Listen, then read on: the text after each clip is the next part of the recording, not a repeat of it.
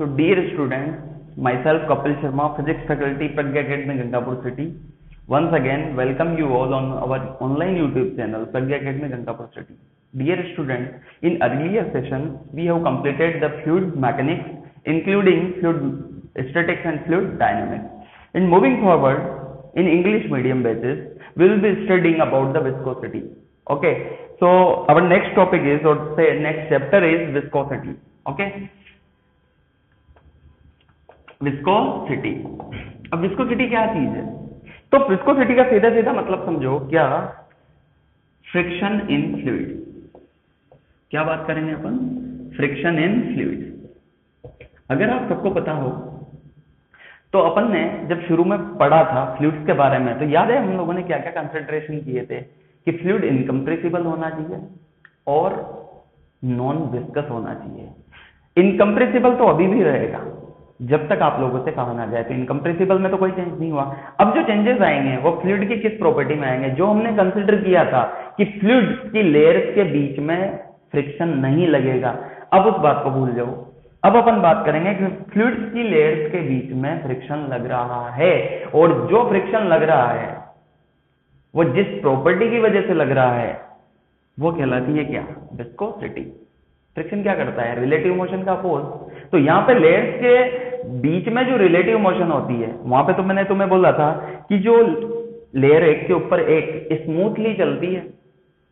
Smoothly मतलब कि कोई फ्रिक्शन नहीं देती मतलब एक दूसरे की मोशन का अपोज नहीं करती और यहां पर जब अपन बात करेंगे लेयर्स के बीच में तो लेयर्स का जो मोशन है वो स्मूथ नहीं रहेगा that means the in this chapter we will be considering that the fluid is viscous okay और वो जो विस्कस फ्लूड है उसकी जो प्रॉपर्टी होती है वो कहलाती है क्या विस्कोसिटी और विस्कोसिटी का मतलब है friction and fluid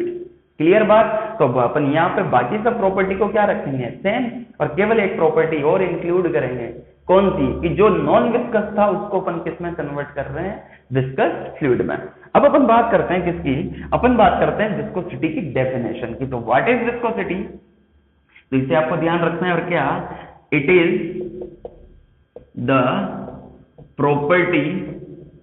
it is the property of fluid due to ध्यान से सुनना ड्यू टू किसके कारण due to intermolecular forces due to intermolecular forces by which by which during the fluid flow the relative motion between the layers opposed the relative motion between the layers जो layers के बीच की जो relative motion है layers opposed उसे क्या किया जाता है अपोज किसके कारण इस प्रॉपर्टी के कारण कौन सी प्रॉपर्टी जो किसके कारण है इंटरमोलिकुलर फोर्सेस के कारण वो क्या कहलाती है विस्कोसिटी और इसी विस्कोसिटी अच्छा इंटरमोलिकुलर फोर्सेस से क्या आई विस्कोसिटी और विस्कोसिटी ने क्या किया जो रिलेटिव मोशन थी किसके बीच में लेयर्स के बीच में उसका क्या किया अपोज क्लियर बात तो अपन यहाँ पे लेयर्स के बीच के जो फ्रिक्शन है उसे अपन यहाँ पे नेग्लेक्ट नहीं मान रहे हैं उसे अपन क्या कर रहे हैं कंसिडरेशन ले रहे हैं उसे अपन कंसिडर कर रहे हैं this is all about the viscosity clear बात अब मैं और बात करता हूं आपने पढ़ा होगा अर्लियर क्लासेस में या अर्लियर सेशन में हमने जब काइनेटिक थ्योरी की थ्योरी ऑफ गैसेस की भी बात की थी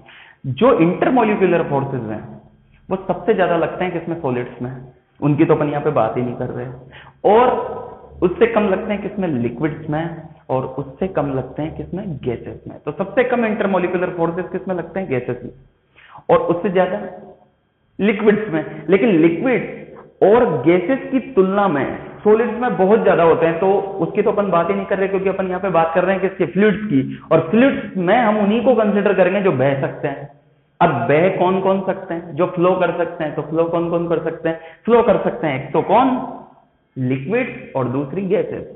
क्लियर बात ये दोनों ही किस में आते हैं फ्लूड्स में फिर मैंने कहा हम फ्लूड्स में उन्हीं को कंसिडर करते हैं किनको जिनका वॉल्यूम कॉन्स्टेंट रहे मतलब डेंसिटी कॉन्स्टेंट रहे क्लियर तो यहाँ पे अभी भी अपन वही बात कर रहे हैं कि जिन हम अभी भी वॉल्यूम को चेंज नहीं कर रहे हैं डेंसिटी को चेंज नहीं कर रहे हैं लेकिन जो अर्लियर सेशन में अपन ने पढ़ा था क्या कौन सा फ्लूड आइडियल फ्लूड उसको कन्वर्ट करके अब अपन कर रहे हैं किसमें कन्वर्ट रियल फ्लूड्स में और रियल फ्लूड्स जिनके बीच में क्या है विस्कोसिटी मतलब जिनमें विस्कोसिटी का क्या होता है गुण होता है और वो विस्कोसिटी का गुण ये सारा कुछ अब अपन वापस से अपने टॉपिक पे आते हैं जो कर रहे थे बात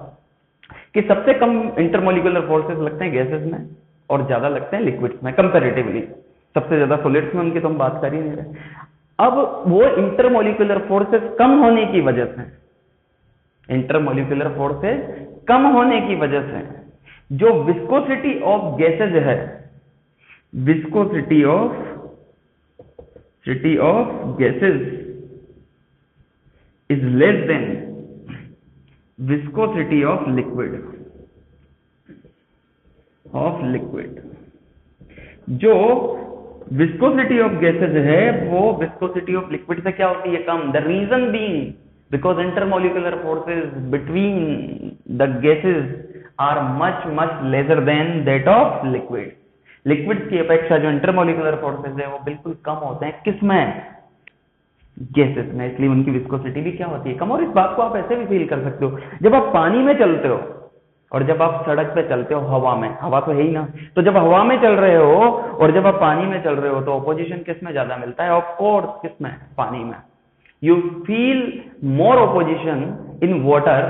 is comparison to the gases the reason being is viscosity because जो गैसेज की विस्कोसिटी होती है वो कम होती है किसके कंपेरिजन में लिक्विड के कंपेरिजन में और विस्कोसिटी किसका मेजरमेंट है विस्कोसिटी बेसिकली मेजरमेंट किसका हुआ किसकी वजह से विस्कोसिटी आई इंटरमोलिकुलर फोर्सेज क्लियर अब अपन लिक्विड्स में ही कंपैरिजन करें जैसे आपने एक लिया हनी दूसरी लिया टूथपेस्ट और तीसरा लिया पानी क्लियर मैं यहां पे एक एग्जांपल लेके बनाता हूं कि आपने क्या किया एक ग्लास लिया है ना उस ग्लास में उस ग्लास में ये ग्लास है और उस ग्लास में पानी भरा उसी सेम साइज का एक और ग्लास लिया उस ग्लास में हनी भरा हनी इसमें तो वाटर इसमें हनी और तीसरे में ले लिया मान लो टूथपेस्ट इसमें टूथपेस्ट इस ग्लास में भर लिया अपन ने ट्यूब में तो होता ही है उसमें से निकाल के ग्लास में भर लिया टूथपेस्ट जब आप तीनों में क्या करोगे कि क्या करो इस ग्लास को टेढ़ा करो तो जब ग्लास को टेढ़ा करोगे तो वाटर इजीली आ जाएगा क्यों आ गया क्योंकि इसकी जो लेयर्स है लेयर्स लेयर्स किसके किससे मिलकर बनी हुई है मोलिक्यूल्स हैं वो स्मूथली वो क्या करेगा वो उनको कम रेजिस्टेंस मिला किनको लेयर्स को जो लिक्विड लेयर्स हैं वाटर की जो लेयर्स थी उनको कब कम ऑपोजिशन मिल कम ऑपोजिशन मिला किसने दूसरे लेयर्स हैं तो ये बिल्कुल आ गया क्योंकि इसमें इंटरमोलिकुलर फोर्सेस कम थे हनी की बात करो तो इसमें थोड़े ज्यादा होंगे और इसमें और भी ज्यादा होंगे तो जब आप इस ग्लास को टेढ़ा करोगे ना तीनों को तो सबसे आसानी से बाहर कौन आएगा वॉटर क्योंकि इसमें इंटरमोलिकुलर फोर्सेस क्या है कम मतलब इसकी विस्कोसिटी लीस्ट फिर उसके बाद हनी की और सबसे ज्यादा विस्कोसिटी टूथपेस्ट की तो इसका मतलब अपन क्या समझे कि जो यो समझो कि जो आसानी से गिर गया उसकी विस्कोसिटी कम जो जिसको गिराने में और ज्यादा तकलीफ आई उसकी विस्कोसिटी ज्यादा और सबसे ज्यादा तकलीफ टूथपेस्ट में तो सबसे ज्यादा हाई विस्कस कौन हो गया टूथपेस्ट उससे उससे कम हनी और सबसे कम वाटर क्योंकि इसमें रेजिस्टेंस सबसे कम मिला इसमें उससे ज्यादा और इसमें उससे ज्यादा तो सारा का सारा खेल किसका है इंटरमोलिकुलर फोर्सेस का तो वाटर में इंटरमोलिकुलर फोर्सेस लगभग क्या है कि नेग्लिस बिल्कुल कम जैसे लगते हैं और ये भी बोला जाता है कि जो वाटर है ना वो नियर बाई आइडियल फ्लूड जैसा व्यवहार कर लेता है आइडियल नहीं होता है आइडियल फ्लूड जैसा व्यवहार कर लेता है उसके जैसे गुण ये प्रदर्शित कर देता है पानी क्लियर बात तो this is all about the example अब इसे आगे की बात करते हुए अपन देखते हैं क्या ध्यान से समझना भाई क्या चीज होती है वो मैं बताता हूं वेलोसिटी प्रोफाइल कि मान लो ये रिवर बेड है रिवर बेड का मतलब समझते हो ना the bottom of the river इसे बोल रहे हैं अपन रिवर बेड क्लियर अब यहां पे जब आप देखोगे तो ये तो सबसे टॉप सरफेस है मतलब सबसे टॉप लेयर है किसकी वो जो पानी वो जो लिक्विड है उसकी सबसे टॉप लेयर ये अपन रिवर कंसिडर कर रहे हैं ये उसके नीचे वाली लेयर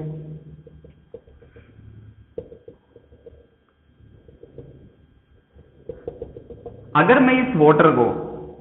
जो नदी है इसके वाटर को इसके लिक्विड को अगर बाई चांस मैं लेयर्स में डिवाइड लेयर्स में डिवाइड करूं या लेयर्स अलग अलग लेयर्स में लू तो सबसे हाईएस्ट स्पीड होगी ना वो किसकी होगी वो होगी सबसे ऊपर वाली लेयर दिस इज हाईएस्ट नीचे वाली लेयर की ओर कम इसके नीचे वाले की ओर कम इसके नीचे वाले की और कम फिर और कम फिर और कम और कम और कम और जो लेयर किसके किसके पास में है जो लेयर बिल्कुल बॉटम के टच में है उसकी वेलोसिटी बिल्कुल कम होगी this is the velocity profile क्या बताती है वेलोसिटी प्रोफाइल वेलोसिटी प्रोफाइल ये बताती है कि the layer which in which is in contact with the bottom उसकी स्पीड सबसे कम होगी और लगभग कितनी होगी जीरो वी अप्रोक्सीमेटली कितनी जीरो बिल्कुल मिनिमम या तो मिनिमम बोल दो अप्रोक्सीमेटली कितनी मान लो जीरो और जो लेयर सबसे ऊपर वाली है उसकी सबसे हाइएस्ट और जैसे जैसे नीचे आते जाओगे वैसे वैसे क्या होता जाएगा लेयर की स्पीड घटती जाएगी ड्यू टू फ्रिक्शन क्योंकि देखो सबसे ऊपर वाली को सबसे देखो सबसे ऊपर वाली के ऊपर कुछ है क्या नहीं ना तो सबसे ऊपर वाली को कोई रेजिस्टेंस नहीं मिला लेकिन जब से आप नीचे आओगे तो ये ऊपर वाले का वजन ये ऊपर इसके ऊपर इस लेयर के ऊपर जितना भी लिक्विड है उसका वजन इस पर पड़ेगा वजन पड़ने की वजह से फ्रिक्शन बढ़ेगा याद है ना फ्रिक्शन फोर्स में एक प्रॉपर्टी होती है क्या नॉर्मल रिएक्शन बढ़ने से फ्रिक्शन बढ़ जाता है कुछ वैसा ही यहाँ पे समझो हालांकि वैसा यहाँ पे एग्जैक्ट फॉर्मूला वैसा नहीं निकल के आता लेकिन फिर भी इसके ऊपर जो लिक्विड है उसका वेट यहाँ पर आएगा इसलिए ये और धीमे चलेगा ये और धीमा हो जाएगा ये और धीमा हो जाएगा तो जैसे जैसे जिस लेयर के ऊपर जितना ज्यादा फ्लूड होगा उसकी स्पीड उस लेयर की स्पीड उतनी ही कम होती चली जाएगी ऐसा आपने नदियों में देखा भी है और हम महसूस भी कर सकते हैं इस चीज को कि बॉटम वाले जो बॉटम जो बॉटम जो रिवर बेड के टच, टच में है उस लेयर की स्पीड बहुत कम होगी सबसे ऊपर वाले की बहुत ज्यादा this is the velocity profile clear अब इस प्रोफाइल को समझाने के लिए कि साहब डिस्टेंस के साथ वेलोसिटी में चेंज क्या वो क्या बता रहा है कि जैसे जैसे आप गहराई में जाते जा रहे हो तो स्पीड घटती जा रही है लेयर की या ऊपर जाते जा रहे हो तो वेलोसिटी बढ़ती जा रही है नीचे आ रहे हो तो वेलोसिटी घट रही है और ऊपर जा रहे हो तो वेलोसिटी बढ़ रही है इसे डिस्टेंस के साथ वेलोसिटी में जो चेंज होता है ना उसे डिफाइन किया जाता है वेलोसिटी ग्रेडियंट किससे वेलोसिटी ग्रेडियंट से अब वेलोसिटी ग्रेडियंट क्या चीज है इसे समझते हैं कि मान लो हमने एक लेयर ली ध्यान से समझना मैंने एक लेयर ली ये वाला ये लेयर ली ये पूरी एक फ्लूड लेयर है मान लो ये वाई पे जाके है किस पर जाकर है वाई पर यहां से वाई ऊपर जाकर मैंने एक लेयर ली जिसकी मोटाई है इस लेयर की मोटाई है कितनी डी वाई अब जो लेयर इसके बॉटम से टच में है भाई ये लेयर जो डीवाई वेट्स की है ना इसके नीचे वाली जो लेयर होगी उसकी वेलोसिटी यदि वी है क्या बोला मैंने यदि उसकी वेलोसिटी कितनी है वी तो इसके ऊपर वाली की कितनी होगी थोड़ी सी ज्यादा तो इसके ऊपर वाली की कितनी होगी वी प्लस डीवी मैं यहां पे बना रहा हूं इसे कि अगर मैं वाई पर जाकर वाई पर जाकर यदि डीवाई मोटाई की क्या ली मैंने लेयर तो जो लिक्विड लेयर इसके नीचे होगी उसकी स्पीड यदि बी है तो इसके ऊपर वाले की थोड़ी सी क्या होगी ज्यादा वो कितनी होगी बताओ उसे मान लिया अपन ने बी प्लस dv तो चेंज इन वेलोसिटी कितना हुआ ऊपर जा रहे हैं तो v प्लस डी और चेंज इन डिस्टेंस कितना हुआ dy क्योंकि अगर ये नीचे वाली लेयर y पर है तो ऊपर वाली कितने पर होगी y प्लस डीवाई क्योंकि dy ही तो ज्यादा है तो यहां से डिस्टेंस कितना चेंज हुआ डीवाई और वेलोसिटी कितनी चेंज हुई डीवी तो ये जो डीवी अपॉन डीवाई है ना डीवी अपॉन डीवाई इसे बोला जाता है वेलोसिटी ग्रेडियंट तो what is velocity gradient the change in speed of the layer with respect to the distance जो ये डिस्टेंस है इसके रेस्पेक्ट में जो वेलोसिटी में चेंज होता है उसे क्या बोला जाता है वेलोसिटी ग्रेडियंट आप यह भी बोल सकते हो dv by D Y it is velocity gradient and it tells that how the velocity changes with respect to the distance जो डिस्टेंस है उसके रेस्पेक्ट में वेलोसिटी किस तरीके से चेंज होती है और ये सब समझा पाता है कौन वेलोसिटी प्रोफाइल तो आप ये बात ध्यान रखना वेलोसिटी ग्रेडियंट का मतलब dv upon dy that means the change in velocity with respect to the distance clear note करो इसे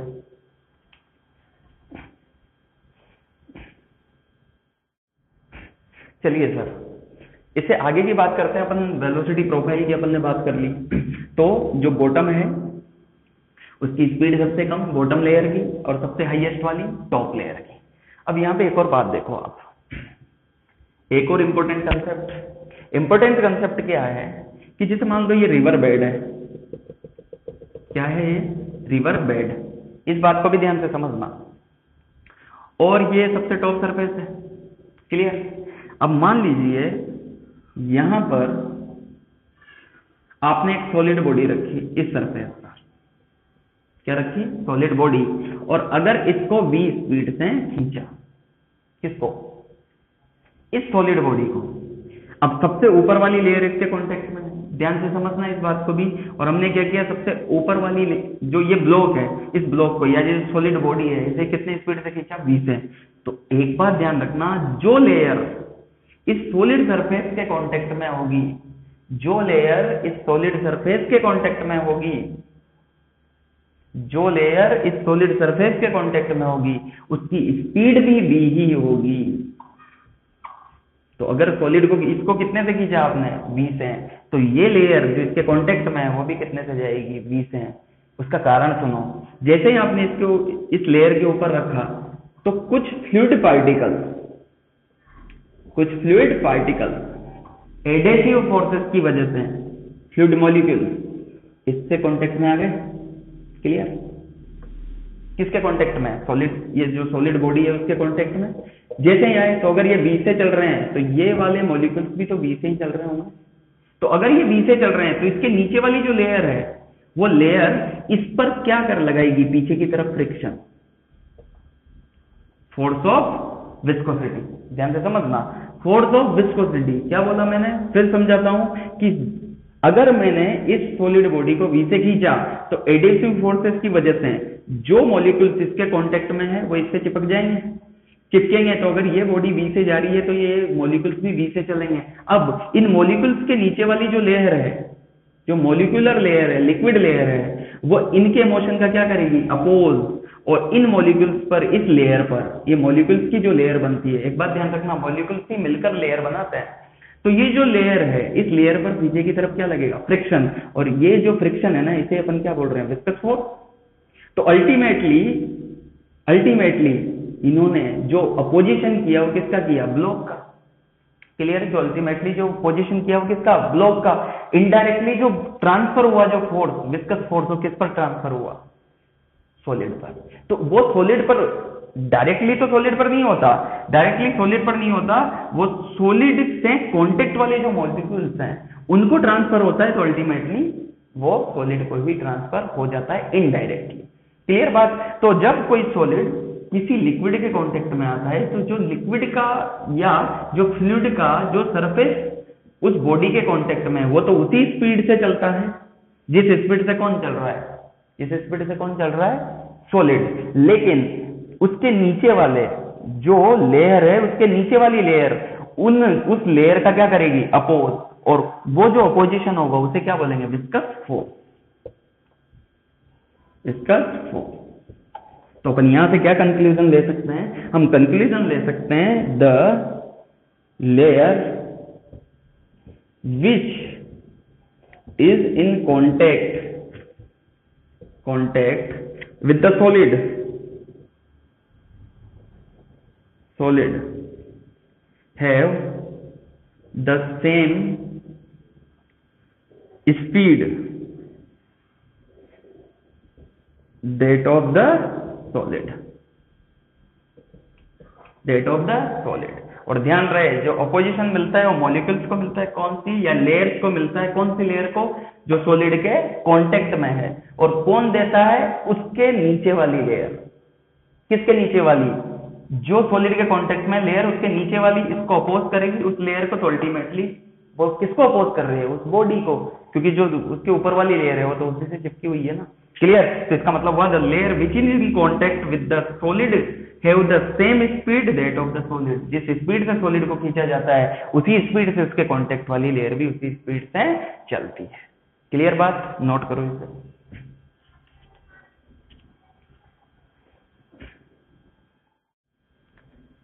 चलिए सर तो ये बात हुई डिस्कस फोर्थ की जब अपन सोलिड को किसी लेयर के कॉन्टेक्ट में लाएं तब अब देखो ये ये बहुत इंपॉर्टेंट चीज है ये आपको बिल्कुल पता होनी चाहिए अपनी नोट्स की कॉपी में इनको ढंग से नोट कर लेना और इंपॉर्टेंट बातें क्या क्या है ध्यान से समझना बेटा एक बात ध्यान से सुनने की कोशिश करना मैं आपको वापस से फ्लूड स्टेटिक्स और अभी दोनों की बात करता हूं ध्यान से सुनना जब फ्लूड रेस्ट पे होता है ना जब फ्लूड किस पे होता है रेस्ट पे तो जो लिक्विड लेयर्स होती हैं उनके टेंजेंशियल डायरेक्शन में मैं यहां पे लिख के बोलता हूं इसे when the fluids are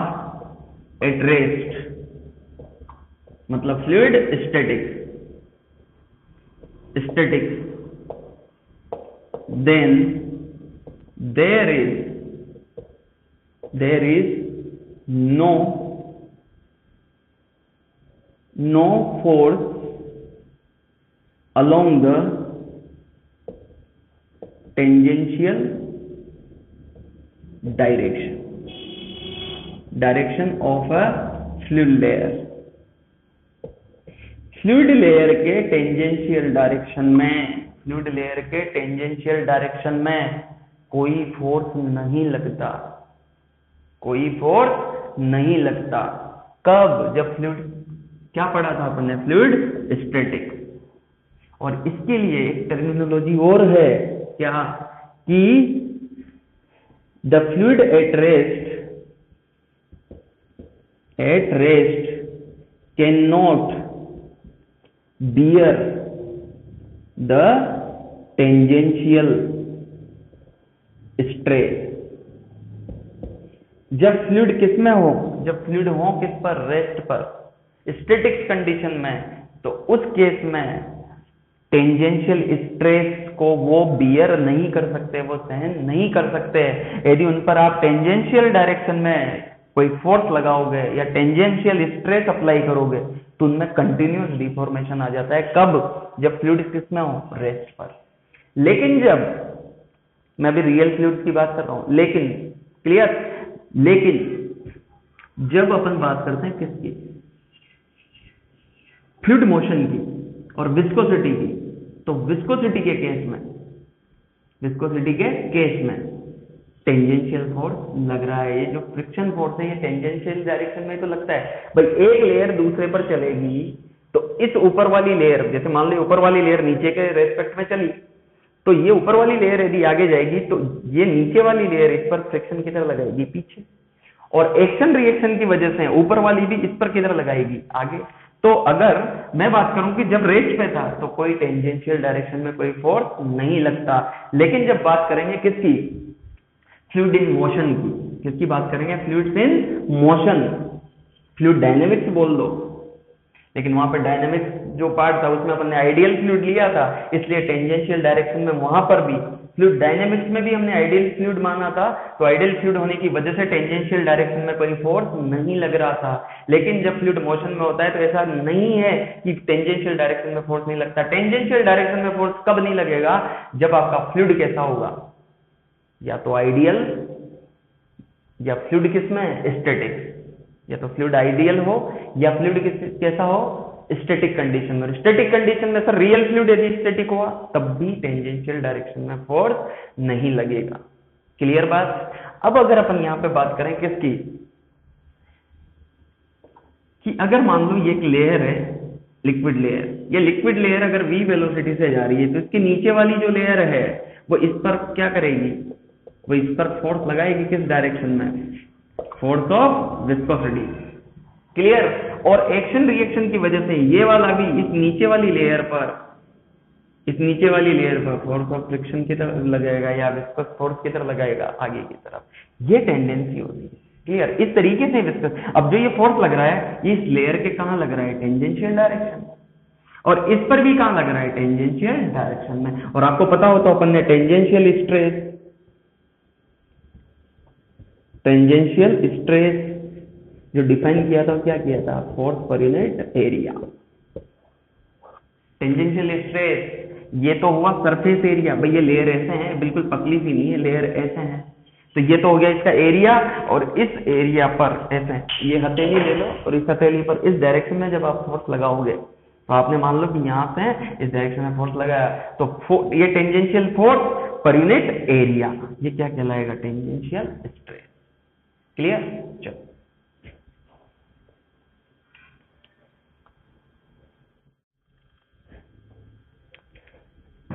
चलिए अपन बात करते हैं किसकी न्यूटन फॉर्मूले न्यूटन फॉर्मूला न्यूटन साहब एक ऐसे साइंटिस्ट हैं जो हर जगह पे अपने लॉज के लिए अपने फॉर्मूलोज के लिए अपने एक्सपेरिमेंट्स के लिए काफ़ी फेमस थे तो उन्होंने फ्लूड्स के केस में भी दिया बच्चों जब आप इंजीनियरिंग करोगे कुछ इंजीनियर बनेंगे आगे जाके तो आप लोग पढ़ोगे एक न्यूटोनियन फ्लूड ठीक है अब ये Newtonian fluid basically properties of matter का एक पार्ट है है ना तो वहां पे आप लोग पढ़ोगे कि न्यूटोनियन फ्लूड उन्हें बोला जाता है जो न्यूटन लॉज ऑफ विस्कोसिटी का पालन करते हैं क्या बोला मैंने न्यूटोनियन फ्लूड उनको बोला जाता है जो न्यूटन लॉज ऑफ विस्कोसिटी आगे जाके पढ़ोगे उनका क्या करते हैं उनको क्या करते हैं फॉलो करते हैं ठीक है हमने पढ़ा था प्रॉपर्टीज ऑफ मैटर में कि जो जो आपका स्ट्रेस होता है वो प्रोपोर्शनल होता है किसके स्ट्रेन के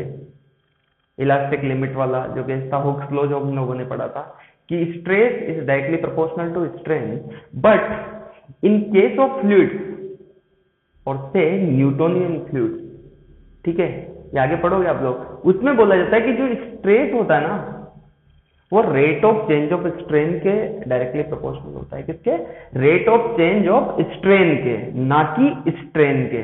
ये आगे की बात मैं कर रहा हूं हो सकता है आप लोगों के ऊपर से जाए लेकिन ये बात ध्यान रखना कि न्यूटोन फ्लूट्स न्यूटोनियन फ्लूड्स नाम की कोई चीज आती है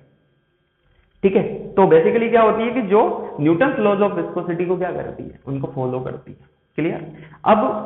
उसमें भी जब अपन सामान्यतः प्रॉपर्टीज ऑफ मैटर की बात करते हैं तो प्रॉपर्टीज ऑफ मैटर में तो अपन क्या पढ़ लेते हैं कि सब stress is directly proportional to strain लेकिन जब वो बात फ्लूड्स के केस में की जाती है फ्लूड्स में भी किसकी न्यूटोनियन फ्लूड्स की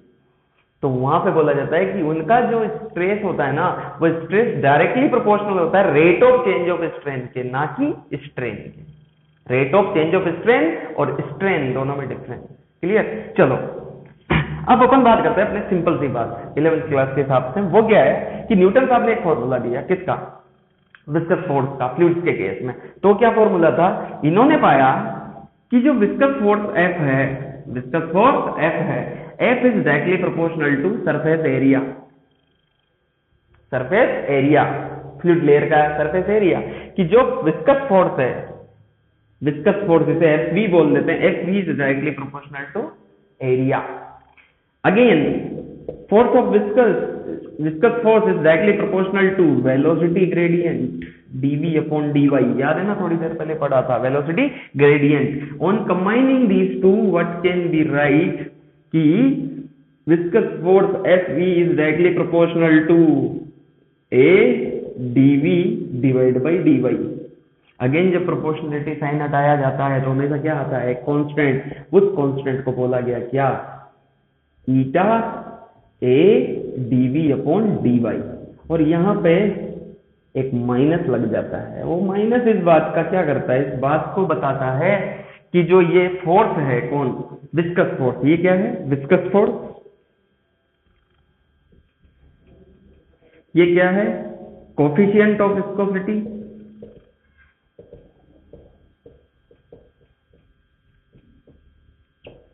ये क्या है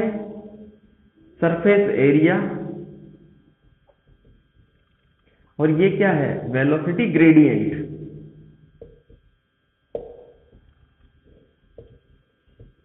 वेलोसिटी ग्रेडियंट और माइनस साइन किस बात का इंडिकेटर है it is indicating that viscous force force is opposing force और किसका पोज करता है रिलेटिव मोशन का किसका पोज करता है रिलेटिव मोशन का देखो ना dv upon dy relative motion का क्या कर रहा है ये अपॉन तो ये न्यूटन साहब का फॉर्मूला है कि विस्कस फोर्स क्या होता है eta A dv upon dy eta के बारे में हम विस्तार से थोड़ी देर के बाद बात करेंगे किसके बारे में कॉपिशियंट ऑफ विस्कोसिटी के बारे में आप ये समझो कि coefficient of viscosity it basically depends on nature of the material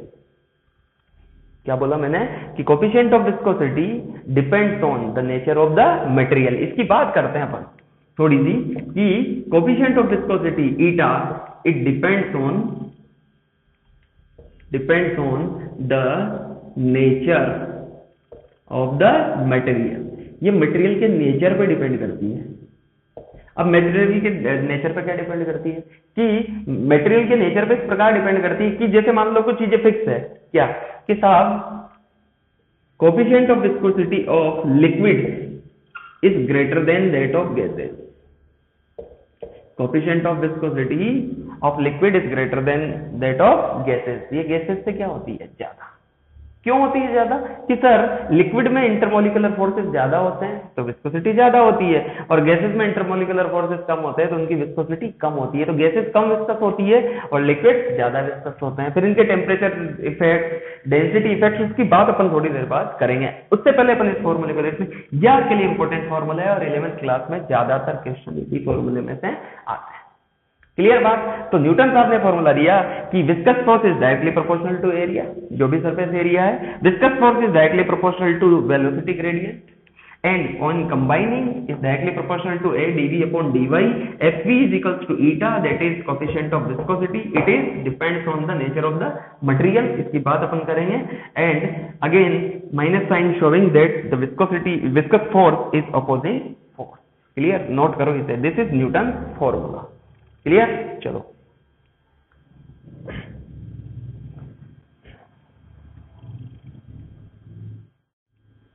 चलिए मैं आपको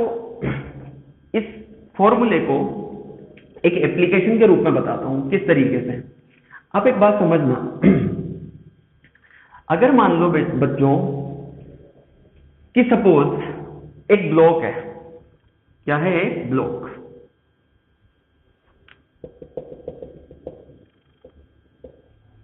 क्लियर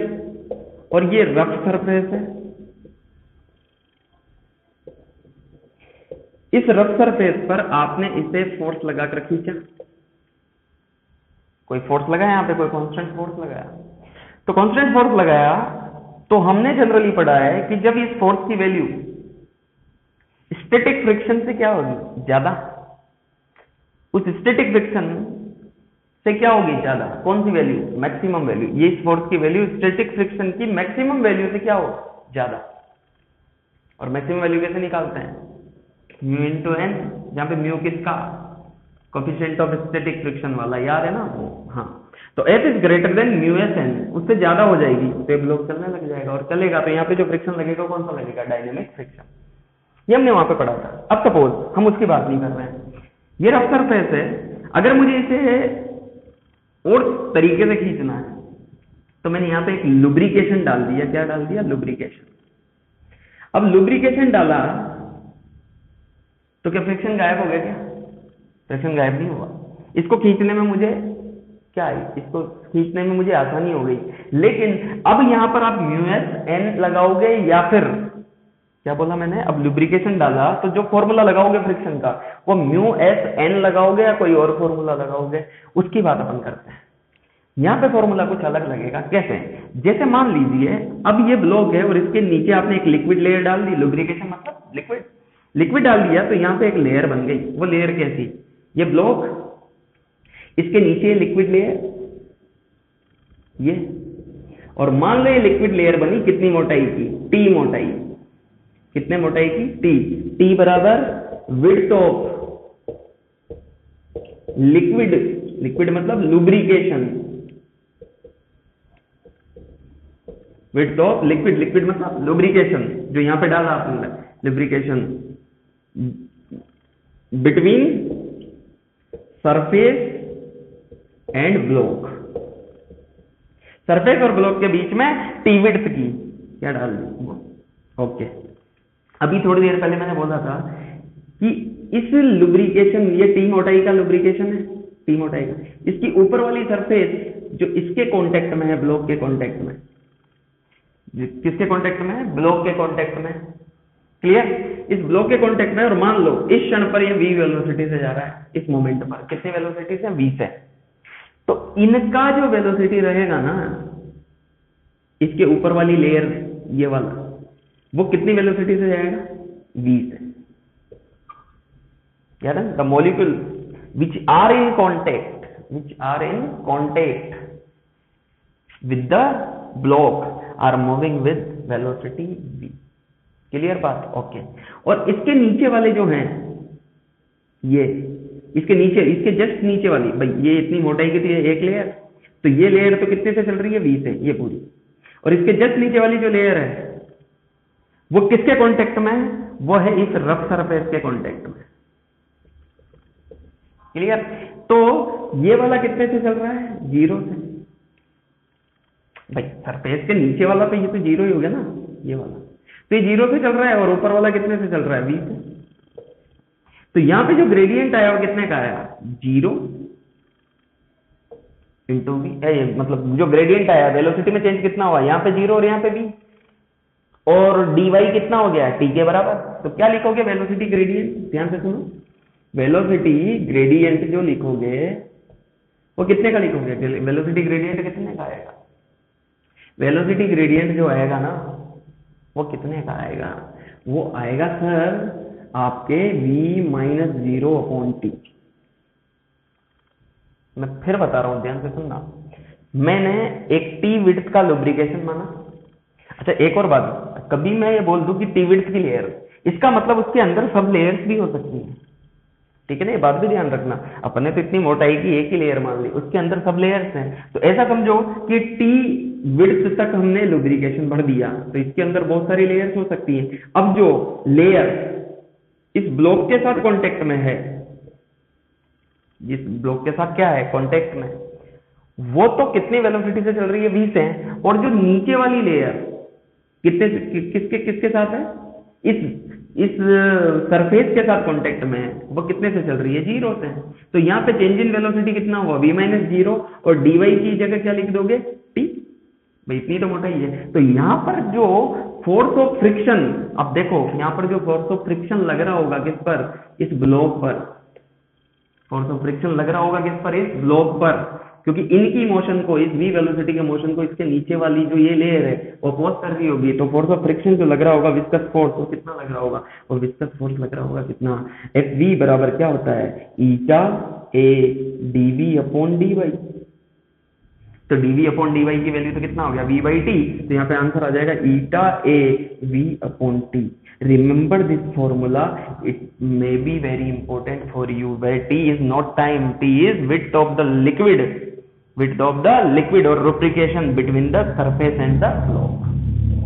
clear इतना फोर्स लगेगा किसका फ्रिक्शन किस पर इनडायरेक्टली ग्लोब पर अच्छा ये लगता कैसे है अभी मैं थोड़ी देर पहले बात कर चुका ये मोलिक्यूल इससे जो चिपक गए वो बी से जा रहे हैं ये नीचे वाली जो लेयर्स हैं वो इस पर पीछे की तरफ फोर्स कर रखेगी बची बची हुई लेयर्स इधर पीछे की तरफ फोर्स लगाएगी कितना एफ वी इस एफ वी की वैल्यू यहाँ पे कितनी आ गई eta A D V upon D Y बराबर eta A V by T यहाँ पर क्लियर तो ये भी आप लोग ध्यान रखना क्लियर चलो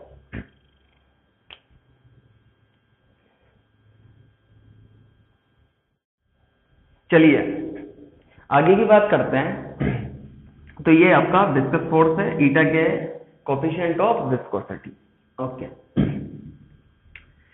coefficient of viscosity अब देखो कोफिशियंट ऑफ विस्कोसिटी ये एक इंपॉर्टेंट टर्मिनोलॉजी है जैसे कोफिशियंट ऑफ फ्रिक्शन था ना क्या था कोफिशियंट ऑफ फ्रिक्शन वैसा ये कोफिशियंट ऑफ विस्कोसिटी है कुछ अब इसे डिनोट किया जाता है किससे ईटा अब इसकी यूनिट तो अपन ने जो विस्कस फोर्स देखा वो विस्कस फोर्स क्या था माइनस तो आएगा ही आएगा eta A dv upon d y अब अगर मैं ईटा को लिखूं तो ईटा बराबर कितना आ जाएगा F D Y upon A dv force मतलब न्यूटन डी वाई मतलब मीटर ए मतलब एरिया मतलब मीटर स्क्वायर और डीवी मतलब मीटर पर सेकेंड क्लियर इस मीटर से मीटर कैंसिल ये एस ऊपर चला जाएगा तो क्या क्या बचा ये बचा सर आपके पास newton second per metre square this is the unit of eta newton second per metre square I hope आप इसका यूज करके इसका डायमेंशन भी निकाल सकते हो clear newton second per metre square इस newton second per metre square newton second per metre square ये इसकी एसआई यूनिट है और एसआई में इसे डेका पोइज क्या बोल दिया जाता है डेका पोइज क्लियर क्या बोल दिया जाता है deca poise B E C A P O I S C deca poise clear in CGS ये तो किसमें हुआ एसआई इन सीजीएस सीजीएस में इस ईटा की जो यूनिट होगी वो क्या होगी वो होगी बताओ dyne second per centimetre square dyne second per centimetre square और इसे बोला जाता है बेटा पोइज तो in CBS system the unit of eta eta मतलब coefficient of viscosity coefficient of viscosity viscosity इसकी यूनिट क्या होगी पोइस और एस SI में डे का पोइस और दोनों में क्या रिलेशन होता है one deca poise equal to ten poise one deca poise equal to ten poise clear this is the unit of eta clear sir okay और बात करते हैं अपन क्लियर और बात करते हैं अपन आगे की कोपिशियंट ऑफ विस्कोसिटी जो होता है ना coefficient of viscosity coefficient of viscosity city first depends on temperature ये टेम्परेचर पे क्या करता है डिपेंड करता है clear second depends on density density पर क्या करता है डिपेंड डिपेंड्स ऑन टेम्परेचर और डिपेंड्स ऑन डेंसिटी क्लियर अब कैसे डिपेंड करता है उसे देखते हैं first dependence depends on temperature पहले इसको डिस्कस कर लेते हैं डिपेंड्स ऑन टेम्परेचर अगर अपन टेम्परेचर की बात करें तो टेम्परेचर पर किस तरीके से डिपेंड करता है तो ईटा जो होता है ना वो इनपर्सली प्रपोर्शन होता है वन अपॉन रूट टी के ये तो किस में ये तो होता है लिक्विड में आपको पता है फ्लूड्स में दोनों आते हैं लिक्विड और गैसेस तो हमें दोनों की बात करनी पड़ेगी और ईटा जो डायरेक्टली प्रपोर्शन होता है रूट टी के ये किसके लिए गैसेस के लिए eta is inversely proportional to one upon root T in case of liquid and eta is directly proportional to root T in case of gases if you talk second depends on density depends on density अब density से कैसे है if density of liquids मैंने बोला fluids में दोनों आते हैं कौन कौन लिक्विड्स और गैसेस तो दोनों के लिए हमें डिपेंडेंसी शो करनी पड़ेगी if density of liquid increases then coefficient of viscosity decreases coefficient of viscosity sorry coefficient of viscosity increases if density of liquid increases then density then eta matlab coefficient of viscosity increases the reason being more dense is liquid more dense is liquid that means more viscous is liquid यदि liquid ज्यादा dense होगा तो उसकी उस वो ज्यादा viscous होगा क्यों क्योंकि इंटरमोलिकुलर फोर्सेस क्या हो जाएंगे बट जाएंगे अब अगर यहां पर बात करें but in case of gases but in case of gases in case of gases if density increases then coefficient of viscosity decreases यदि क्या होगा कि गैस की डेंसिटी बढ़ाई जाएगी गैस की डेंसिटी बढ़ाई जाएगी तो बढ़ाने पर उसका जो विस्कस फोर्स है या कोपिशियंट ऑफ विस्कोसिटी है भाई फोर्स किस, किसके बराबर होता है eta A D V upon D Y तो अगर आपने ईटा बढ़ा दिया ईटा बढ़ा दिया इसका मतलब डेंसिटी बढ़ा दी अगर यहाँ सॉरी ईटा घटा दिया तो ईटा के घटने पर फोर्स घट जाएगा तो अगर मैं यहाँ पे बोलूँ कि यदि डेंसिटी बढ़ाओगे तो ईटा घटेगा ईटा घटेगा मतलब फोर्स घटेगा कौन सा फोर्स विस्कस फोर्स अब देखो ऐसा क्यों हुआ अगर मैं गैस की बात करूं और गैस के केस में यदि आपने क्या किया आपने यदि गैस की डेंसिटी बढ़ा दी तो विस्कोसिटी घट जाती है विस्कोसिटी घट जाती है मतलब ज्यादा कम फ्रिक्शन कौन देगा हाई डेंस गैस या लो डेंस गैस तो हाई डेंस गैस वो है वो कम फ्रिक्शन देती है किसके कंपैरिजन में लो डेंस गैस के उसका रीजन है जब डेंसिटी बढ़ती है गैस की तो उसमें कोलिजन बढ़ जाते हैं किसके गैस के मॉलिक्यूल्स के और कोलिजन बढ़ने की वजह से हैं उसकी फ्लो रेट बढ़ जाएगी गैस के केस में उल्टा हो जाएगा यहाँ पे ऑल दो मैं आपको बोल रहा हूं कि इससे रिलेटेड केसेस हमारे जेई e और नीट के सिलेबस में नहीं है किसके केस में किसके लिए गैसेस के लिए हमारी जो विस्कोसिटी है वो विस्कोसिटी की जहां तक बात होती है वो केसेस वो किन केसेस की बात होती है वो बात होती है किसमें लिक्विड्स में तो लिक्विड्स के केसेस को आप ध्यान रखो बाकी गैसेस के केसेस को डील करने की आपको जरूरत नहीं है लेकिन हाँ ये एकाधिक बात अगर आपको ध्यान रह जाए तो ज्यादा बढ़िया है हाँ डेंसिटी को अगर एक हद से ज्यादा बढ़ा दिया जाता है तो फिर अगेन ये विस्कोसिटी फिर बढ़ने लग जाती है क्लियर लेकिन नॉमिनल जगह पर गैसेस के लिए अगर आपसे कोई पूछा जाए कि गैस की डेंसिटी बढ़ने पर क्या होगा विस्कोसिटी का तो viscosity will decrease but in case of liquid सिर्फ density increases that mean the coefficient of viscosity also increases. These two points are much important. The dependency of temperature and the dependency of density. ध्यान रहे gases के case हम बिल्कुल consider नहीं करते हैं उसका रीजन एक अधिक पॉइंट आपको ध्यान रहे क्योंकि गैस के कंसिडरेशन में या गैस के लिए विस्कोसिटी की ज्यादा बात नहीं होती नोट करो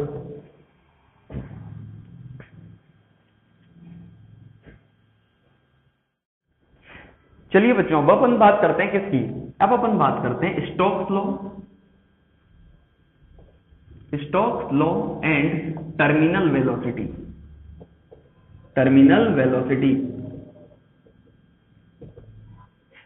Stokes law and terminal velocity बच्चों एक बात ध्यान रखना अब अपन जो कंसिडर कर रहे हैं ना वो क्या कर रहे हैं अपन अब कंसिडरेशन में ले रहे हैं विस्कस फ्लूड को मतलब अब जो फ्लूड है वो भी फ्रिक्शन लगा रहा है किस पर दूसरी बॉडीज पर भी अब अगर एक बात बताऊं आपको कि मान लो देखो स्टोक लो क्या है और टर्मिनल वेलोसिटी क्या है ये दोनों एस्पेक्ट एक ही टॉपिक के हैं लेकिन इन दोनों का अलग अलग जगह पे किस तरीके से अपन यूटिलाइज करेंगे वो देखते हैं मान लो कि कोई फ्लूड है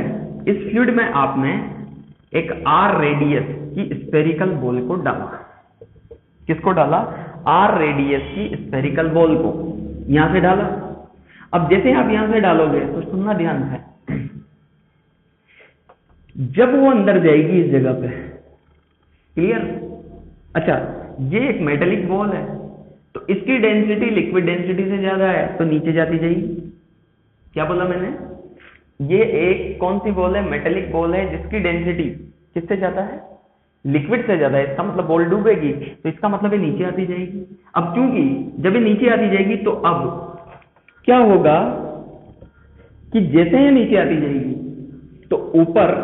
इस क्षण पर इस मोमेंट पर अगर मैं इस मोमेंट किसी पर्टिकुलर मोमेंट का क्या बनाऊं डायग्राम तो ऊपर लग रहा है एक बायंसी फोर्स साथ में ऊपर ही लग रहा है एक विस्तक फोर्स क्या बोला मैंने ऊपर लग रहा है एक बायंसी फोर्स और साथ में एक ऊपर लग रहा है कौन सा force viscous force this is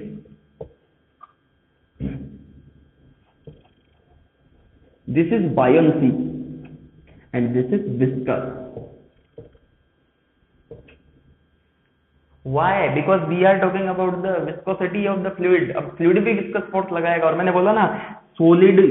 के कांटेक्ट में जो देखो ये क्यों हुआ क्योंकि यहाँ पे जब जो मॉलिक्यूल्स हैं किसके लिक्विड के जो सॉलिड के टच में है किसकी वजह से एडेसिव फोर्स की वजह से इसके चिपक जाएंगे और वो तो उसी स्पीड से जाएंगे स्पीड से कौन जा रही है बोल लेकिन इन मॉलिक्यूल्स पर ये जो और लिक्विड मॉलिक्यूल्स हैं लिक्विड के जो पार्टिकल्स हैं लिक्विड लेयर्स है वो इस पर क्या लगाएगी फ्रिक्शन वो फ्रिक्शन क्या कहलाता है जिसका फोर्स और नीचे क्या लग रहा है एम अब यहां पे देखो कि अगर एम ज्यादा है किससे इन दोनों से मिलाकर तो बॉल एक्सल हो रही होगी तो शुरू में तो एक्सल हो रही है शुरू में एक्सल हो रही होगी शुरू में अगर एक्सलरेट हो रही है तो उसकी वेलोसिटी लगातार बढ़ रही होगी क्लियर अब स्टोक आया और स्टोक ने बोला क्या तो according to Stoke according to Stokes law according to Stokes law the viscous force the viscous force acting on acting on this metallic,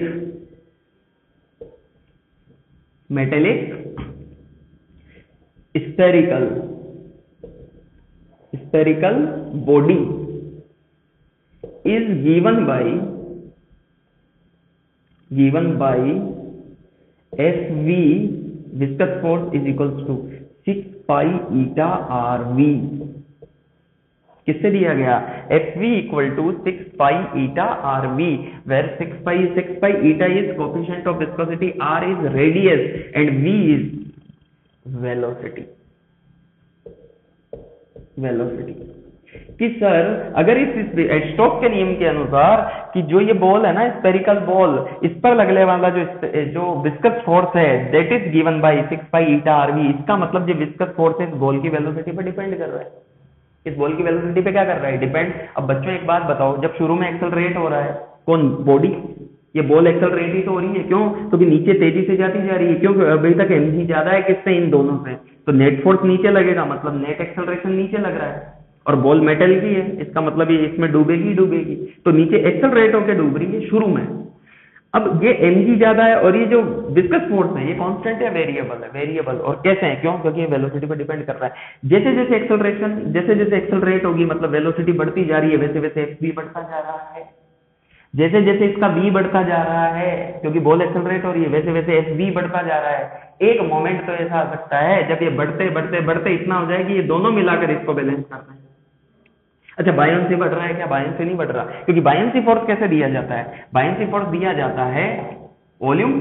submerged into density of liquid into G अब volume सबमर्स तो पूरा पूरी तो डूब चुकी तो volume सबमर्स change हो ही नहीं रहा तो इसका मतलब बायन से चेंज नहीं होगा तो इसका जो एफ है वो तो कितना हो जाएगा four by three pi R cube rho L into G where rho L is density of liquid अच्छा इसकी लिक्विड की डेंसिटी अपन रो एल ले लेते हैं और इस बॉल की डेंसिटी रो एस ले लेते हैं क्लियर तो यहाँ पर जो बायसी फोर्स है वो चेंज नहीं हो रहा चेंज कौन हो रहा है विस्कस फोर्स क्योंकि वो वेलोसिटी पे डिपेंड कर रहा है अब बॉडी की वेलोसिटी लगातार बढ़ रही है अभी वेलोसिटी बड़ी बड़ी बड़ी बड़ी बड़ी एक मोमेंट ऐसा आया कि किसी पर्टिकुलर वेलोसिटी पर ये दोनों फोर्स एम के बराबर हो गए तो let at V T V T मतलब velocity at which which the condition becomes vt velocity at which the condition becomes क्या F V plus F B equal to M B जो ऊपर का फोर्स है वो नीचे के फोर्स को क्या कर दिया बराबर और इस कंडीशन में एक्सेलरेशन कितना हो गया जीरो तो एक्सेलरेशन जीरो हो गया इसके बाद क्या इसके बाद वेलोसिटी ना तो बढ़ेगी ना घटेगी इसका मतलब इसकी वेलोसिटी क्या होगी कांस्टेंट और वो कांस्टेंट वेलोसिटी किससे डिनोट की अपन ने वीटी क्योंकि वीटी पर ही तो ये बराबर हुआ है इसका मतलब अब वीटी चेंज नहीं होनी तो अब ये नीचे जो जाएगी वो किससे जाएगी वीटी से और ये जो वीटी है ना इसे ही बोला जाता है क्या टर्मिनल वेलोसिटी इस वीटी को ही क्या बोला जाता है टर्मिनल वेलोसिटी तो टर्मिनल वेलोसिटी क्या है टर्मिनल वेलोसिटी का मतलब समझो सबसे पहले स्टोक्स का नियम स्टोक्स लो तो ये हो गया अब बात करते हैं किसकी टर्मिनल वेलोसिटी की तो terminal velocity is that constant velocity with which a body moves inside the fluid किसी फ्लूड के अंदर वो कांस्टेंट वेलोसिटी जिससे एक बॉडी उसमें क्या करती है मूव उस वेलोसिटी को क्या बोलते हैं टर्मिनल वेलोसिटी क्लियर एक बात ऐसे समझो कि मान लो हवाई जहाज है उस हवाई जहाज में से एक व्यक्ति क्या किया हवा में कूदा अब हवा में कूदा तो सबसे पहले रेट होगा सबसे पहले रेट होने के बाद उसने उसका पैराशूट खोला पैराशूट खोलते क्या हुआ कि ऊपर की तरफ विस्कस फोर्स लगने लगा तो उस विस्कस फोर्स ने उसके एमजी को क्या कर दिया बैलेंस और याद है आपको जब वो बैलेंस हो जाते हैं तो फिर वो एक कांस्टेंट वेलोसिटी से नीचे उतरता है ऐसा थोड़ी एक्सेलरेशन से नीचे जाके धड़ाम धरती से टकराता है धीरे धीरे फिर नीचे उतरता है तो जिस स्पीड से वो नीचे उतरता है पैराशूट की वजह से वो स्पीड क्या कहलाती है टर्मिनल वेलोसिटी तो इसका मतलब इस vt स्पीड वह स्पीड है जब fv प्लस fb ने किसको बैलेंस कर दिया mg को तो ये वो कांस्टेंट स्पीड है जिसके बाद इस बॉल की बॉल की स्पीड ना तो बढ़ेगी ना घटेगी मतलब कांस्टेंट हो जाएगी किस पर vt पर और यही कांस्टेंट स्पीड किसके बराबर होती है टर्मिनल वेलोसिटी के बराबर क्लियर अब मैं इसका यहाँ पे छोटा सा vt निकालने का एक तरीका बताता हूँ कैसे है तो ये फॉर्मूला अपन लगा देते हैं अब F B plus F B बराबर क्या हो गया एम जी अब मैं यहाँ पे लिख रहा हूँ आप इसे नोट कर लेना जब अपन इसे यहां पर लिखेंगे तो देखो क्या होगा क्या लिखोगे ध्यान से देखो F B plus F B equal to M G again what is F B F B is four by three pi R cube rho L into G where rho L is density of liquid ये तो F B हो गया F B क्या हो जाएगा बेटा six pi eta R V T देखो मैंने यहाँ पे एस वी को वी टी क्यों लिखा क्योंकि उस वी टी पे ही तो ये दोनों बराबर हुआ है तो वी की जगह वी टी आ जाएगा स्टॉक फॉर्मूले में एम जी की जगह क्या आ जाएगा four by three pi R cube volume of the ball density of the ball into G and G की जगह लिख सकते हैं बिल्कुल अब मुझे अगर वी टी निकालना है तो इसको उधर ले जाऊं इसको उधर ले जाऊंगा तो क्या हो जाएगा six pi eta R V T equal to four by three pi R cube G ये कॉमन ले लो इधर क्या बचा इधर ये इधर चला जाएगा तो क्या बचेगा rho S minus rho L यहाँ पे वी टी बराबर कितना बचेगा वी टी बराबर बचेगा कितना four by three pi R cube G rho S minus rho S minus rho L divide by कितना six pi eta R R से ये कितने टाइम्स कटा स्क्वायर टाइम दो से दो बार दो से तीन बार या नो आ जाएगा तो वी टी इक्वल टू कितना आ जाएगा टू बाई नाइन पाई से पाई भी cancel R square G rho S minus rho S minus rho L divide by क्या हो गया divide by eta this is the formula of terminal velocity and this velocity is known as terminal velocity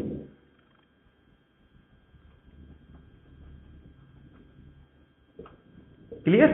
note कर रही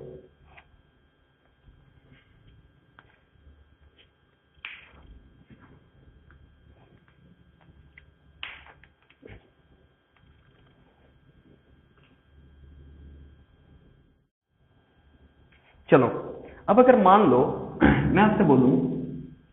कि हमें terminal velocity को define करना है ये तो हुआ फॉर्मूला अब टर्मिनल वेलोसिटी को डिफाइन कैसे करोगे कि when when a ball is dropped dropped in viscous fluid viscous fluid then initially it accelerates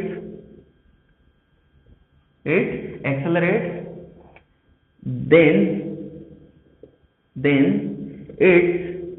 acceleration becomes zero and it attains a constant velocity velocity called terminal velocity वो जो constant velocity attain कर लेती कब जब उसका acceleration क्या हो जाता है जीरो तो वो जो कांस्टेंट वेलोसिटी है वही क्या कहलाती है टर्मिनल वेलोसिटी और वो अपन ने स्टोक लॉ से भी देखा जो फोर्स लगता है वो क्या होता है six pi eta R V where V is velocity that is much important concept clear अच्छा एक और बात इसी में अब अगर अपन इसमें B और टी के बीच का ग्राफ बनाएं किसके बीच का B और टी के बीच का तो देखो वेलोसिटी और टाइम के बीच तो क्या होगा पहले पहले वेलोसिटी बढ़ेगी बढ़ के फिर क्या हो जाएगी कांस्टेंट इसका मतलब rate of change of velocity initially क्या हो रही है डिक्रीज तो डिक्रीज हो गई कितनी हो गई zero rate of change of velocity का मतलब क्या है एक्सेलरेशन एक्सेलरेशन घटता जा रहा है वेलोसिटी बढ़ती जा रही है और एक्सेलरेशन कितना हो गया जीरो मतलब rate of change of velocity क्या हो गई जीरो एक्सेलरेशन जीरो और फिर वेलोसिटी क्या हो गई कॉन्स्टेंट तो शुरू में वेलोसिटी बढ़ रही है बढ़ रही है बढ़ रही है फिर क्या हो गई कॉन्स्टेंट और एक ग्राफ कुछ ऐसा आ जाएगा ऐसे और ये कॉन्स्टेंट वेलोसिटी को क्या कर लेगा अखबार ये ग्राफ हो जाएगा बी और टी के बीच का क्लियर चलो अगर आपसे इंपॉर्टेंट पॉइंट हैं तो क्या क्या बता सकते हो कि rate of change of velocity velocity ये क्या हो रही है डिक्रीजिंग डिक्रीजिंग क्यों rate of change of velocity decrease मतलब एक्सेलरेशन डिक्रीज हो रहा है और घटते घटते घटते कितना हो गया जीरो मतलब वेरिएबल एक्सेलरेशन है बॉल का decreasing second at last acceleration मतलब rate of change of velocity become velocity become zero will become zero and after this instant after this instant the ball will acquire acquire vt मतलब constant velocity तो देखो शुरू में ये भले ही acceleration घट रहा था लेकिन वेलोसिटी बढ़ रही थी और बढ़ते बढ़ते किसके बराबर हो गई वीटी और फिर इसके बाद जैसे ही एक्सलरेशन घटते घटते जीरो हुआ तो बॉल इसी वीटी से कहा जाने लगी नीचे एक और बात थर्ड पॉइंट भी ध्यान रखना कि अगर मान लो अपना जो फॉर्मूला आया कौन सा वीटी बराबर two by nine R square G rho ball minus rho liquid या हाँ लिक्विड बोल दो या फ्लूड बोल दो अपॉन ईटा ये अगर पॉजिटिव है इसका मतलब body going down and if it is ये पॉजिटिव है तो if it is negative then body is going up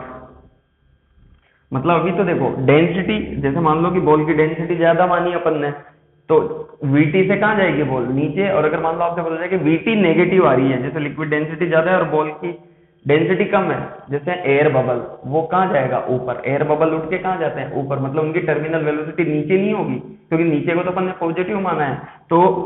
यहाँ पे रो बॉल की जगह क्या जाएगा रो बबल और बबल की डेंसिटी लिक्विड डेंसिटी से कम होती है इसलिए वो ऊपर जाएगा तो ये वीटी क्या आ जाएगा नेगेटिव और इस केस में वीटी क्या आ रहा है पॉजिटिव ये कुछ पॉइंट्स है जो आप ध्यान रख सकते हो और बी और डी के बीच का ग्राफ बी और डी के बीच का ये क्या है ग्राफ क्लियर और इसको आप ये पूरा यहाँ पे टी भी बोल सकते हो ये जो है ना कॉन्स्टेंट वेलोसिटी ये टी है तो आपसे इसमें पूछा जा सकता है कि rate of change of velocity का क्या हो रहा है तो आंसर क्या आएगा डिक्रीज क्योंकि वो एक्सेलरेशन है और वेलोसिटी का क्या हो रहा है इंक्रीज तो एक इंस्टेंट जब एक्सेलरेशन जीरो हो जाएगा करते करते उस समय पर जो वेलोसिटी क्या हो जाएगी टर्मिनल वेलोसिटी के बराबर ये पॉइंट्स तो आपको ध्यान रखना है so on moving next next is Poiseuille's equation Poiseuille's equation और पाइजुलीज इक्वेशन क्या है ध्यान से सुनना मान लो एक स्ट्रेट पाइप है क्लियर यूनिफॉर्म पाइप और इसमें आइडियल फ्लूड भरा हुआ है अभी मैं बात कर रहा हूं कि इसकी आइडियल फ्लूड की ध्यान से सुनना आइडियल फ्लूड की अगर बेटा फ्लो स्पीड इधर वी है तो इस जगह पे भी वी होगी और अगर यहाँ का प्रेशर P1 और यहाँ का प्रेशर P2 है तो अपन लिख सकते हैं P1 बराबर पी टू किससे by using Bernoulli's equation by using Bernoulli by using Bernoulli's equation ऐसे लिख सकते हैं क्यों क्योंकि स्ट्रेट पाइप है पोटेंशियल एनर्जी तो चेंज हो नहीं रही तो अगर यहाँ पे हाफ रो वी स्क्वायर है तो प्रेशर एनर्जी पी वन है तो यहाँ पे भी यदि काइनेटिक एनर्जी सेम है तो प्रेशर एनर्जी सेम होगी तभी तो दोनों जगह सेम आएगा क्या सम भाई P one plus half rho V one square बराबर P two plus half rho V two square यदि वी वन बराबर वी टू तो पी वन बराबर पी टू ये तो कब आइडियल फ्लूड क्यों क्योंकि उसका कारण है यहाँ पे एनर्जी का लॉस नहीं हो रहा तो सब जगह एनर्जी क्या रहेगी सेम लेकिन अगर मैं बात करूं कि यहाँ तो मैंने लिख दिया कि सेंड पे प्रेशर पी वन थी सेंड पे प्रेशर पी टू और पी वन बराबर पी टू ये तो कब की बात आइडियल फ्लूड की but in case of real fluid in case of real fluid और रियल फ्लूड मतलब viscous fluid viscous fluid In case of uh, viscous fluid what we can say, if a straight pipe is taken, और इसमें अगर एक viscous fluid की अगर यहाँ पे स्पीड बी है तो बेटा यहाँ पे स्पीड क्या बी रहेगी या घट जाएगी बिल्कुल घट जाएगी रीजन क्योंकि विस्कस फ्लूड है और विस्कस फ्लूड है तो क्या बोलोगे विस्कस फ्लूड है तो आप ये बोलोगे सर यहाँ पे अगर काइनेटिक एनर्जी वी है मतलब हाफ रो बी स्क्वायर होगी तो यहाँ पे काइनेटिक एनर्जी कुछ और होगी पर यूनिट वॉल्यूम के क्यों क्योंकि एनर्जी लॉसेज हो गए अब अगर मुझे यहाँ पर v से अगर यहाँ पे फ्लो स्पीड v है और इस जगह भी यदि मुझे फ्लो स्पीड v ही मेंटेन करनी है what I am saying just keep in mind यदि मुझे इस जगह पे फ्लो स्पीड v है और इस जगह भी यदि फ्लो स्पीड v मेंटेन करनी है तो क्या होगा कि मुझे यहाँ का प्रेशर यदि P1 है तो यहाँ का प्रेशर P2 मेंटेन करना होगा यहाँ का प्रेशर यदि P1 हो तो यहाँ का प्रेशर P2 अब P1 बराबर P2 नहीं होगा क्यों क्योंकि अगर मुझे मेंटेन करना है तो यहाँ पर फिर प्रेशर डिफरेंस रखना पड़ेगा क्लियर तो मान लो कि यहाँ पे अगर फ्लो स्पीड V मेंटेन करनी है फ्लो स्पीड क्या मेंटेन करनी है V मेंटेन करनी है तो मुझे इधर से ज्यादा पुश करना पड़ेगा तो मतलब इधर का इधर का प्रेशर ज्यादा और इधर का प्रेशर कम क्लियर ताकि उस फ्लो को मेंटेन करने के लिए वो फ्लो रुक ना जाए उस फ्लो को मेंटेन रखने के लिए मुझे इधर से हाई प्रेशराइज करना पड़ेगा तो इधर का प्रेशर ज्यादा और इधर का प्रेशर कम तो इसका मतलब अपन क्या बोल सकते हैं P P one is greater than P two clear बात क्यों रखा क्योंकि मुझे फ्लो को क्या रखना है मेंटेन अब अगर याद है ना the flow rate rate in case of in case of viscous fluid अच्छा इसे फ्लो रेट भी बोल देते हैं या फिर आप डिस्चार्ज रेट भी हाँ viscous flu viscous fluid discharge rate भी बोल सकते हो इसे discharge rate discharge rate of viscous fluid from a pipe is given by given by Q बराबर कितना पाई आर की power four upon eight eta L into P one minus P two ये formula आपको बिल्कुल कंठस्थ होना चाहिए exactly याद होना चाहिए where R is the radius and L is what L is the length of the pipe यदि मुझे एल लेंथ के पाइप में मुझे डिस्चार्ज रेट पता करनी है तो डिस्चार्ज रेट कैसे दी जाती है पाई आर की power four upon eight eta L P one minus P two where P one and P two are the pressure difference of both the and l is the length of the pipe ये discharge rate दी जाती है और किसके लिए दी जाती है ये दी जाती है viscous fluid के लिए clear यहाँ पे ध्यान रखना ईटा क्या है coefficient of viscosity coefficient of viscosity of viscosity ध्यान रखना इन सबको Q बराबर मैं इधर भी लिख देता हूं Q बराबर पाई आर की power four eight eta L P one minus P two where eta is coefficient of viscosity all these terms you must remember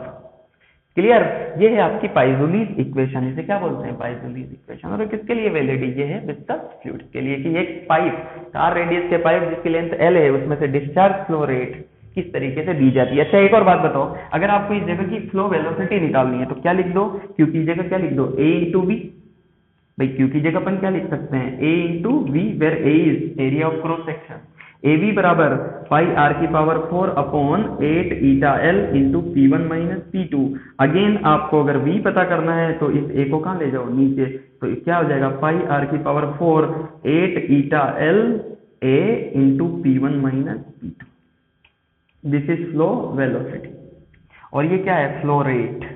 तो रेट और वेलोसिटी दोनों में डिफरेंस है ध्यान रखना है इसे एक और बात इसी फॉर्मूले को एक और तरीके से लिखा जाता है ध्यान से सुनना यह है पाइसुलिस इक्वेशन तो इसी को कैसे लिखा जाता है इसको लिखा जाता है बेटा Q बराबर P1 one minus P two P one minus P two upon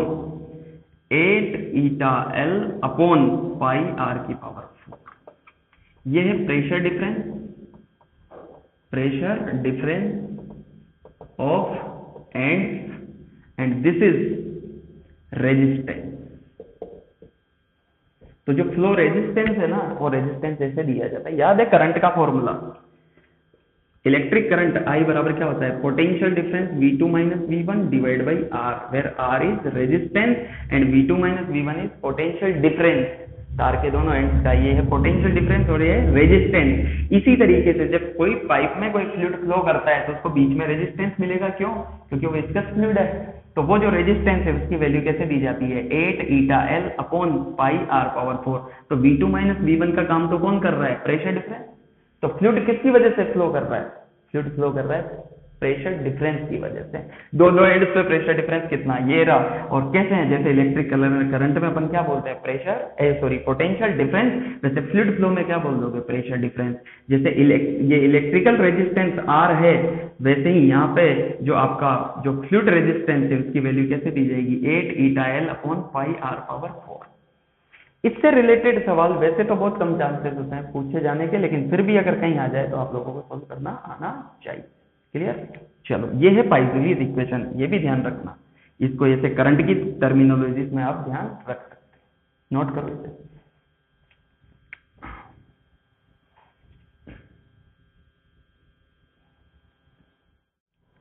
चलो एक सवाल करते हैं पाइजुलियस इक्वेशन से रिलेटेड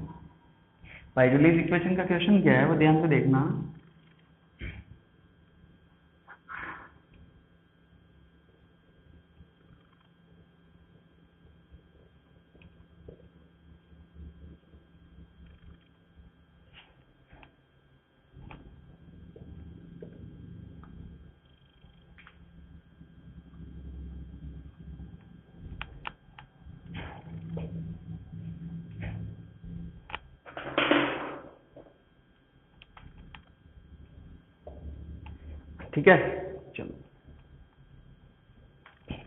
अब अपन एक सवाल करते हैं किसका अपन एक सवाल करते हैं किसका पाइजुलिस इक्वेशन का मान लो क्या सिचुएशन दी हुई है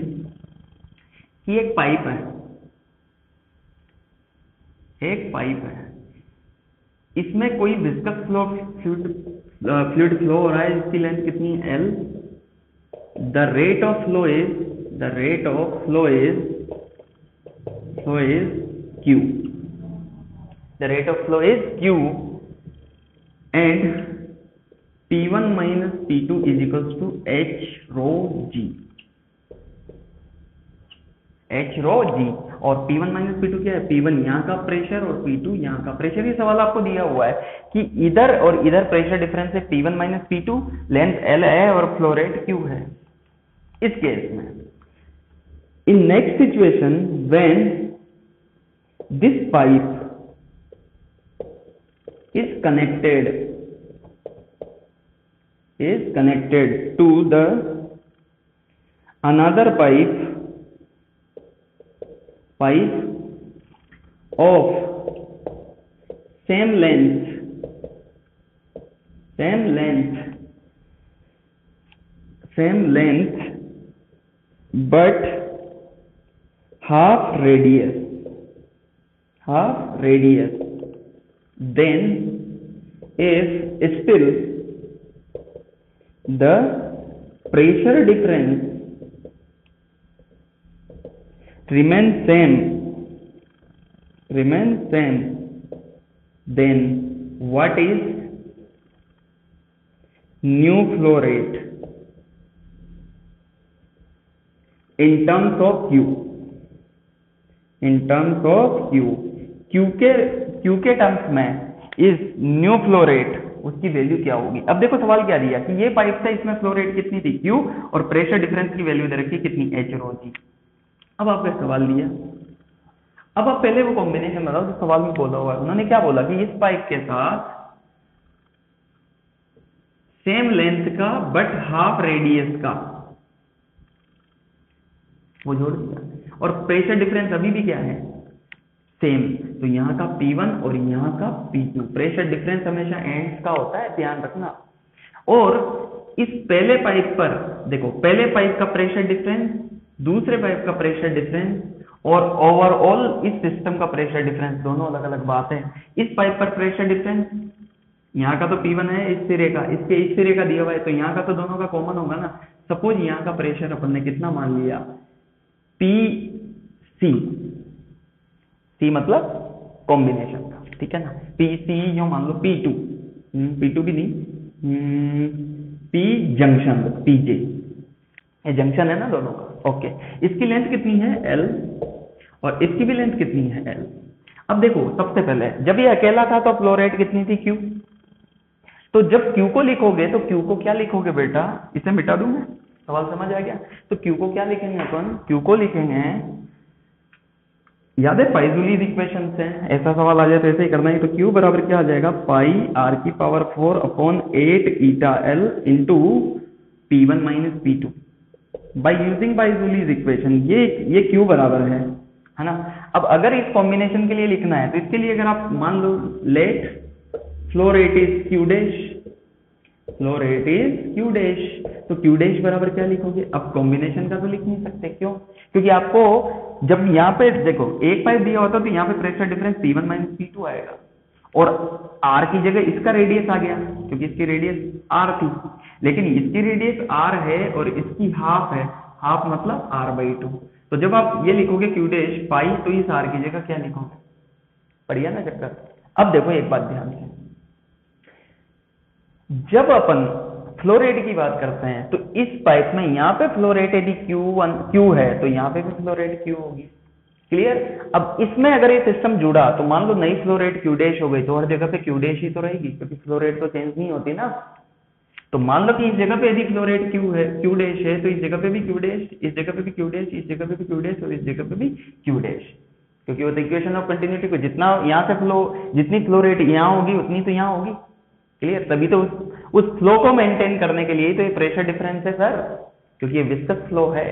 तो मान लो कि मैं लिखूं कि क्यूवन डैश को मैं क्या क्या लिख सकता हूँ तो क्यूवन डैश को मैं इसके लिए भी लिख सकता हूँ और इसके लिए भी लिख सकता हूँ तो क्यूवन डैश को क्या क्या लिख सकते हैं देखो क्या पाई आर की power four upon eight eta L bracket यहाँ का प्रेशर डिफरेंस क्या पी वन माइनस पीजे बराबर इसके लिए लिखोगे तो क्या पाई आर की power four upon eight eta L यहां पे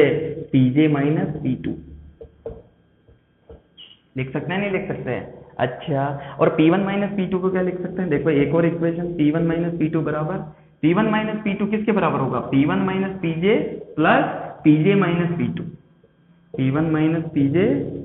यहाँ का पोटेंशियल यहाँ का प्रेशर डिफरेंस प्लस यहाँ का potential pressure difference P J minus P two देख लो ये इसी के बराबर तो है अब देखो जब आप इन दोनों को सोल्व करोगे ना तो यहाँ से देखो पाई आर की पावर फोर से पाई आर नहीं यहाँ आर बाई टू की पावर फोर आएगा ध्यान रखना इसके लिए लिख रहे हैं तो पाई आर बाई टू की पावर फोर तो देखो पाई आर पावर फोर से पाई आर पावर फोर तो एट ईटा एल से एट ईटा एल तो यहाँ पे क्या बच देखिए ये इक्वेशन तो अलग है इसके लिए जब लिखोगे तो क्या लिखोगे P one minus P J equal to यहाँ क्या बचा वन बाई टू की पावर फोर मतलब one by sixteen one by sixteen P J minus P two तो यहां से P J minus P two equal to कितना आया पी वन सिक्सटीन सिक्सटीन को multiple sixteen P one minus P J क्या लिख सकते हैं सब बिल्कुल लिख सकते हैं हमने इसका यूज करके यहां से यहाँ आर बाई टू कर लेना दूसरे के लिए लिखो तब क्योंकि इसकी रेडियस हाफ है अब देखो जब मैं इस पीजे माइनस टू की वैल्यू यहां पे रखूंगा किसकी टर्म्स में पी वन माइनस पीजे की टर्म्स में तो यहाँ पे टोटल मिला के क्या हो जाएगा देखो P one minus P two equal to कितना देखो कितना हो जाएगा one minus PJ plus sixteen P one minus PJ इसकी जगह पे मैंने ये वैल्यू रखी तो यहां पर कितना आ गया P one minus P two की वैल्यू कितनी आ गई seventeen P one minus PJ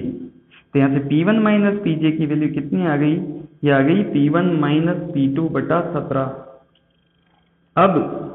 अगर हमें क्यू वन डैश लिखना है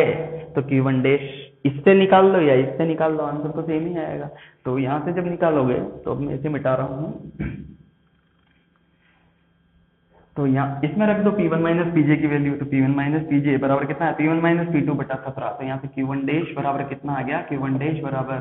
पाई आर की power four upon eight eta L into P one minus P J की जगह क्या लिख दोगे P one minus P two by seventeen ये वाली टर्म किसको रिप्रेजेंट कर रही है क्यू को याद है क्यू अभी मिटाया मैंने ध्यान से देखो उसे तो क्यू वन डैश बराबर कितना आया Q by seventeen Q one dash बराबर क्यू बाई सेवनटीन तो